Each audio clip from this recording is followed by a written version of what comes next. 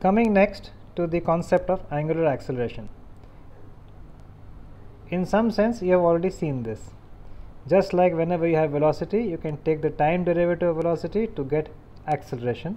Similarly when you have angular velocity of a coordinate system or a rigid body then you can differentiate it to get the angular acceleration. But let us understand this little bit more carefully. So, we again begin with a coordinate system which is rotating and whose unit vectors are changing with time and typically this coordinate system is attached to a rigid body.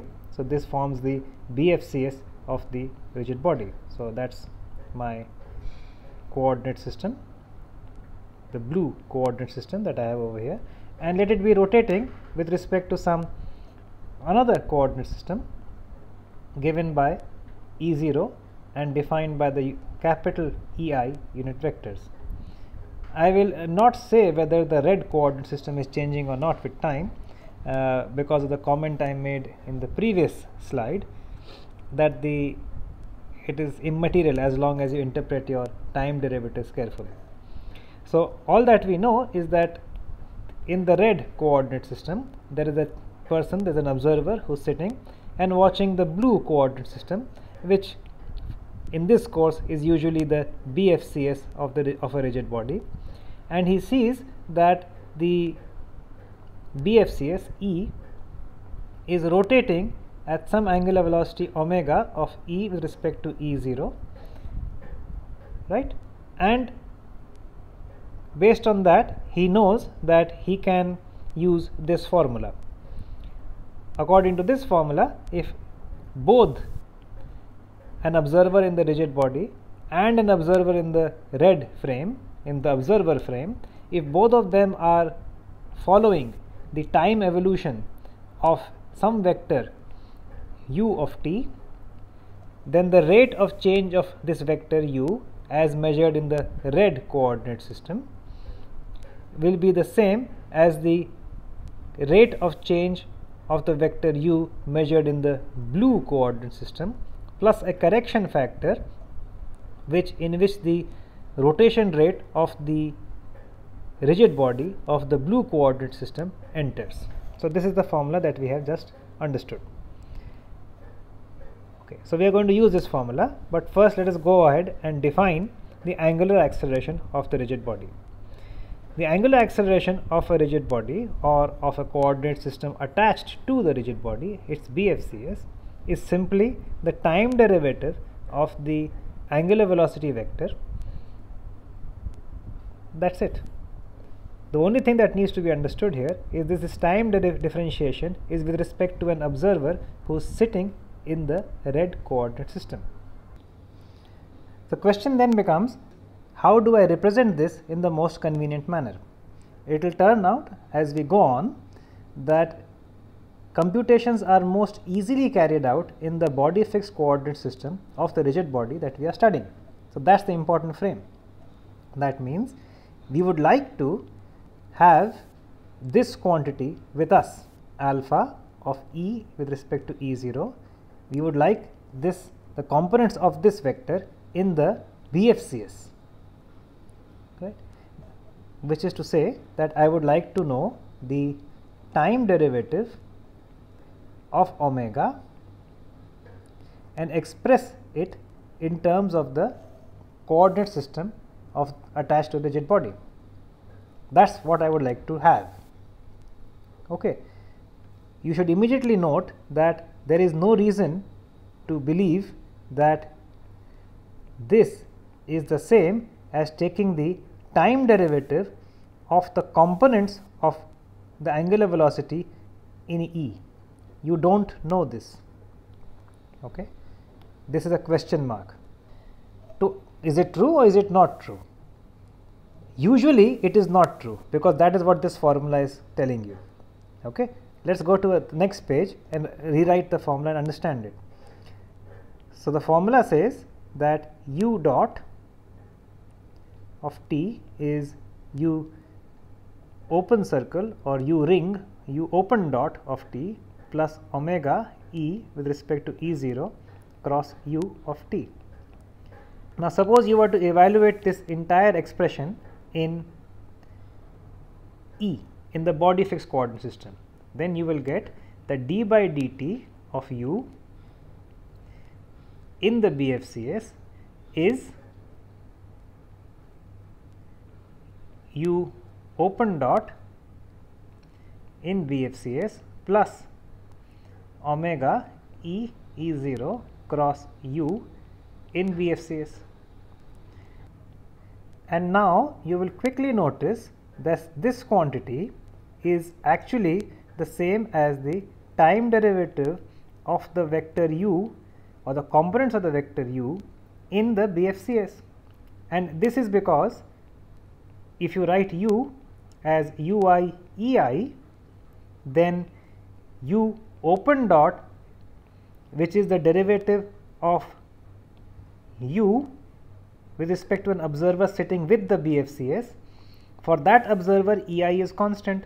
So, therefore, u open dot is really u i dot e i, but u i dot this is precisely that. Okay. So, in general there is no reason to believe that the components of the time derivative of the vector u in the BFCS is the same as the time derivative of the components of the vector in the BFCS because there is this correction factor.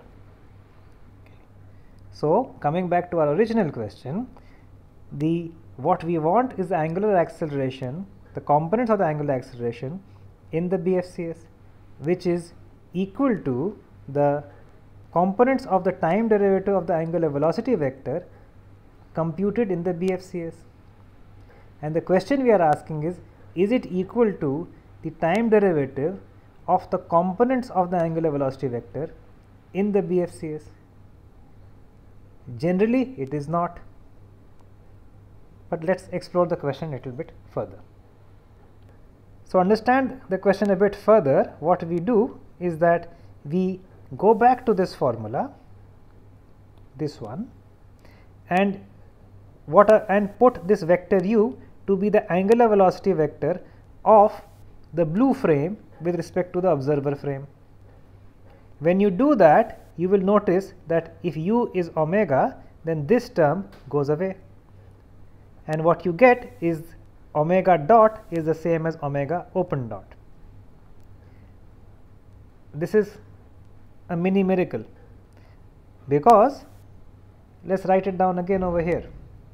So, what we have just shown is that omega dot is equal to omega open dot. So, omega dot is d by dt of omega and if we compute its components in E, these are the same as the components of omega open dot in E, but we have just argued here that this is simply the time derivative of the components of omega in E. So, in other words the answer to our question over here that whether you can take the time derivative out of the square brackets is yes you can, but only for the angular velocity vector. Immediately it has a couple of applications. So, if you have a rigid body B, here is my rigid body B who has BFCS E as I have drawn over here which is rotating with angular velocity omega as this one with respect to the observer. Then the angular acceleration of the rigid body which is measured by the observer and which is measured by the body itself are exactly the same. This is the angular velocity of the rigid body as observed by the observer frame and this is the angular acceleration of the rigid body as observed on its own. So, that is the first application. The second application is basically the formula that we have written over here that and it has a practical application. As I said usually we want the components of the angular acceleration in the body fixed coordinate system. This quantity is exactly this quantity. This is usually hard. Why is it hard? Because if you were to go ahead and write omega as omega i e i and then take the time derivative, then usually you will get two components.